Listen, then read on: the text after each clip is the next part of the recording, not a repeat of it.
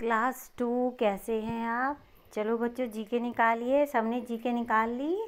चलिए बेटा, आप, आज से मैं क्या कर रही हूँ आपका? रिवीजन स्टार्ट कर रही हूँ। आपका फ़र्स्ट लेके एंड नाइन पेज तक क्या है?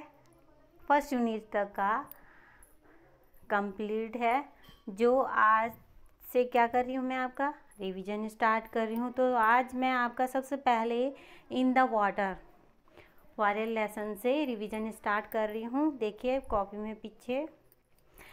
आप क्या कीजिएगा?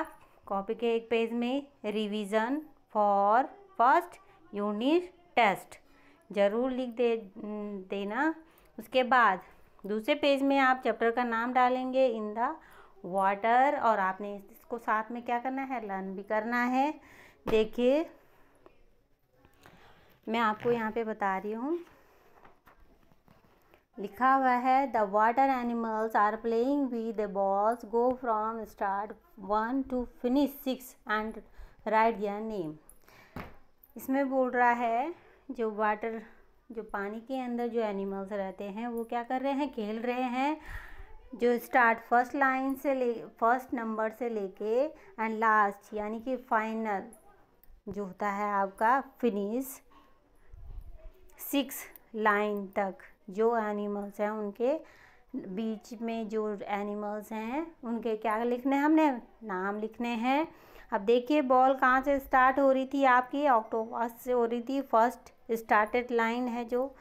तो दूसरे नंबर पे किसके पास गई आपकी? जली फ़िश के पास उसके बाद देखिए। दूसरा हो गया तीसरे में किसमें गई? गोल्डन फ़िश देखिए मैंने कॉपी में लिखा हुआ है। फिर आ, फोर में किसके पास गई? आपकी व्हील मछली के पास गए और फिफ्थ में देखिए किसके पास गए?